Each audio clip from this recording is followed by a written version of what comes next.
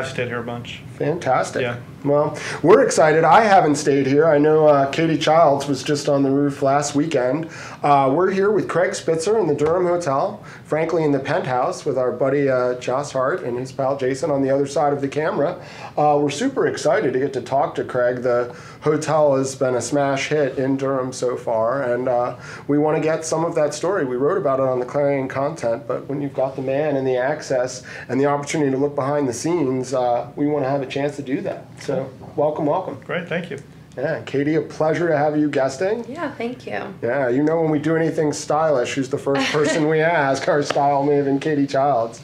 So I know we got to uh, walk a little bit through the lobby and talk uh, some about the entranceway, but maybe you want to tell people. I tell people the first time I came here, you and I spent 15 minutes outside with Justin talking before we even came in. So tell people a little bit about that entranceway and what people see from the street. Sure, sure. Well, we um, f- first off, the building is iconic in its own right. You know, built in the late '60s um, as a bank building originally, and at the time, um, I think a lot of thought was put into sort of how banks presented themselves, kind of these grand uh, entryways that. Um, were, I think, meant to give people a sort of sense of security that their money was safe. Right. Right. Yeah. Um, but uh, you know, flip that to where we're doing now. Um, what it allows us to do is sort of take this uh, original foyer area that was, you know, there was a big fountain there, and it was kind of this grand entrance, and we've turned it much more into our um, our kind of meet and greet uh, area. So when people arrive, there's a real sense of arrival. We have valet. Uh, uh, waiting or bell staff uh, opening the doors, whether it's guests of the hotel or people coming in, or you know the mailman, as I tell you. Right, Did I tell you his name is Welcome? Welcome? No Yeah, way, the mailman's mailman name is welcome. So Durham is full know, of great wel- names. Welcoming welcome to the Durham is something we uh, we enjoy doing on a daily basis. Um, and uh, what we did was because the way the um, if you're familiar with the entrance, the the entrance is actually set back in that foyer, so Right, we don't really address the street the way you might expect other hotels or retail yeah, you're businesses almost a to do. nook. So you're kind of exactly. So we want to take advantage of the opportunity to activate the street in a way. So we went with this uh, newsstand concept. Um, Right. so we've got a curated newsstand down there, some harder to find um, publications uh, in terms of magazines, newspapers, and then also a nice selection of um, of different things that are available throughout the hotel. Our in-room snacks, which are curated by NC Made, which is a Durham-based website that does um, North Carolina product uh, gift boxes. Cool. Um, and uh, she helped us kind of fine tune and select uh, local and regional um, snack products that we sell in the in the guest rooms, and those are available out on the uh, out there. You can buy our blankets, which are Raleigh denim uh, blankets, and so on and so forth. So we've got this kind of cool little kind of retail component to what we do, and then um, uh, along with that is the shoe shine component, which Right, right. you um, were telling Cady I, and I about that in the pre-interview. yeah, yeah, it's exciting uh, to be able to kind of create an opportunity both for someone to build a little business there and also create a service that um, our hotel guests can enjoy, but also folks who might be on their way to a meeting downtown or heading to a wedding downtown or what have you can kind of pop in. And frankly, I think the shoe shine is as much about getting your shoe shined it is the experience of being able to sit back, relax a little bit, maybe interact with whomever is providing that service and Sure. learn a little or, or, or a thing or two. So Right.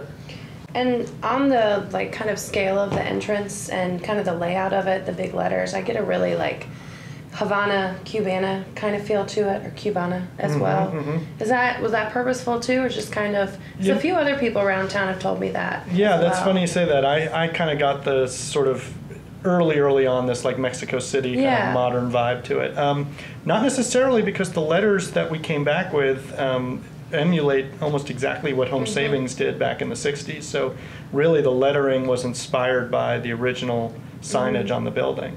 But it does, maybe because of the era, and I Yeah, think the it era does is sort of exactly why. exude that. I would Yeah, agree with you. Yeah, it but there was. Mm-hmm. no sort of intent on our part to go there. It just I think kind of happened organically. It looks very good. Thank you. Yeah.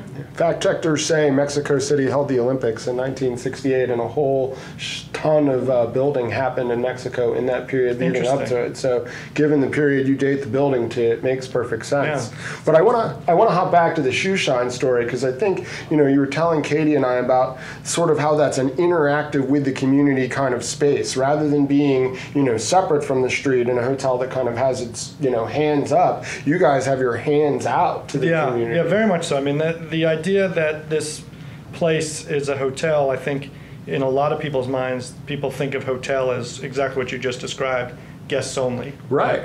Um, our idea for a hotel and what we're all about here is trying to create a space that is interactive, like you mentioned, for not just the people who might be spending the night, but people who are in town, work in downtown, live downtown, maybe are just passing through downtown to try Do to yoga in downtown. yeah, do yoga in downtown. Uh, that's a, another service that we offer, rooftop yoga in the mornings, and again, open to the public. Um, the idea for us is just to create an establishment that has roots and ties and connections to and is inclusive of and embracive of Durham as a whole, uh, rather than creating services that are only to the hotel guests. That just wasn't something Right. that was exciting to us. Right, right. So you haven't stayed here yet per se, but you've been here. No, yeah, I was here um, for celebrating a friend's wedding, and we were on the rooftop. It was beautiful. I think, I mean, it, it certainly has, it could be taken as a formal vibe or like an informal vibe, and I think that's what's cool about it is you could come here after work and like meet him for a drink, hang out for an hour. You could come here celebrating a wedding, and it's like, however you make it, and kind of the same with the list. That's a good too. point about the formal and informal thing. It's like there is definitely. I mean, the building is just so, in my opinion, spectacular that from a decor perspective, we we went a certain way, and it does sort of exude this kind of opulence to an extent. But at the same point, you know, we're here in downtown Durham, a pretty casual crowd is is mm-hmm. is those are those folks who are out walking about, and what we've seen and what we really aspire to was that you know I always say people ask me about dress code, I say come as you are. I mean it's it, you know shorts and flip flops, suit and tie. We've got people sitting next to each other, mingling and mixing in both environments and both you know dresses, and I think they feel comfortable. And a lot of that I hope is how we kind of welcome folks. The idea Sure. that it really doesn't matter. There's no code. We don't care, you know, who Yeah. who's coming here in terms of how they're dressed. We're much more interested in trying to create an environment where everybody feels comfortable. Right, right. I think that opulence you're talking about kind of is present in a lot of downtown, honestly. I know it's mm-hmm. something that's been like a hot topic of conversation with bigger, higher end construction, but like, I mean, you look at coffee shops. I love Cocoa Cinnamon, but you know, it's like there's three different kinds of espresso, there's three kinds of iced coffee. We like, this town really likes options and luxurious things, and I think this kind of highlights that in a very good way. It's, I, I think you- you're right about that. It's it's for us. It's more about quality than it is about necessarily the presentation of it. So, um, you know, it's a warm and welcoming environment because we're um, wanting to create an environment where people really feel taken care of. Um, our coffee bar is doing. I mean, these guys are beyond passionate about their what they're doing. Um, You know, we're not just pulling shots of espresso here. They're really, you know, calibrating them to the point where they're excited about what they're doing and really love putting out a great product. Yeah, So- and that's open to the public. yeah, yeah, Yeah. yeah. The coffee bar is uh, really the first thing that we opened from a food and beverage perspective, uh, doing um, breakfast seven days a week uh, from 7 to 11, and then the coffee bar itself opens at 7 and it runs all the way up till 5.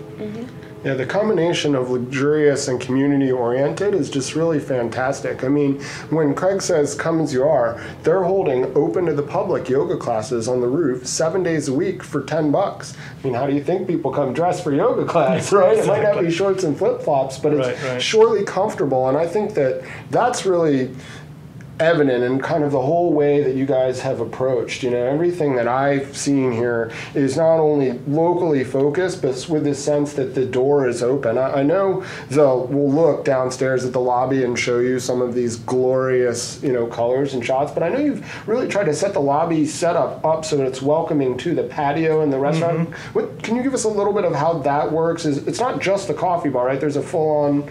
Yeah, yeah. The full-on restaurant um, will open within a few weeks now. Um, so we'll serve eventually dinner, as well as lunch, breakfast. We'll do brunch service on the weekends. We do have that really neat little outdoor dining terrace. There's about Yeah, 30 yeah. seats out there. When the construction wraps up next door, especially, it's going to be a really delightful place to Won't that be great? enjoy, I think, the breeze and the morning coffee, and you get some great shade because that uh, building next to us is about five stories tall. So, Yeah. um, and um, the front desk itself is really, when designing the spot, the space, uh, a lot of thought went into this idea of creating the front desk as a welcoming beacon. The minute you walk through the door, you're greeted. Everything has soft circles and arcs down there. It's Yeah. amazing the way everything just kind of feels like these little bows that bend into. Right. And the idea behind that is that, you know, when anybody arrives, whether they're here for a drink, for coffee, for dinner, to check in, um, we want to make sure they know that we're there to take care of them and there to help them, there to assist them in any way they can. So It's pretty we're awesome. right, we're right there for them. So with the restaurant opening soon, I know you have Andrea Reusing doing that from Mm-hmm. the Lantern.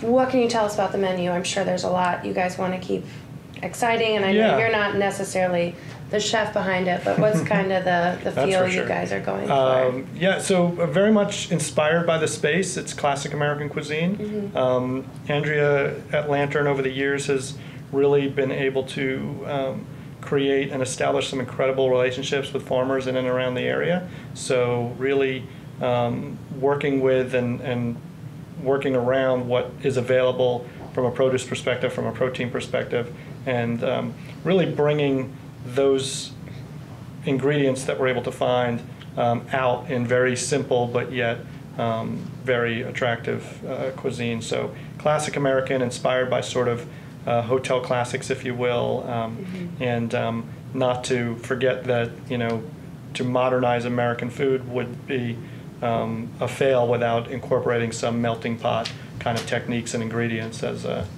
as a component to it.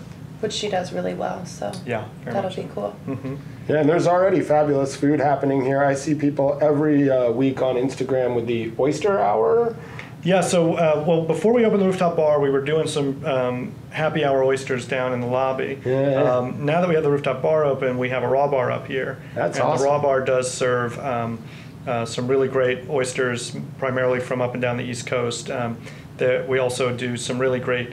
Um, very simple. We have a very small kitchen there, so we have a raw bar and a small kitchen. So a lot of the food is um, uh, really complementary to the environment, to sitting outside and kind of enjoying a cocktail or a glass of beer or wine or something like that, and um, you know, kind of good shareable plates and things like that. Well, it really just makes a ton of sense to me. I mean, so much of what you guys do is simple, classic, elegant, do it right, don't overthink it. You know, I'm sure Cady Childs approves. You know, stylistically, we as Durham are excited to have you in the community. We love the openness of the connection. We know that people will be in and out of here for yoga, for when Centerfest is in town, you know, a chance to be on the rooftop, have an oyster, have a drink. We're really excited to have been here and uh, we're looking forward to walking around with Josh and Jason. And Cady, thanks so much for co hosting. Craig, thanks for coming on. I uh, can't wait to show pleasure. people more of the Durham. Terrific Excellent. stuff. Really Thank you. appreciate it. Appreciate that. Thanks. Thanks, Cady.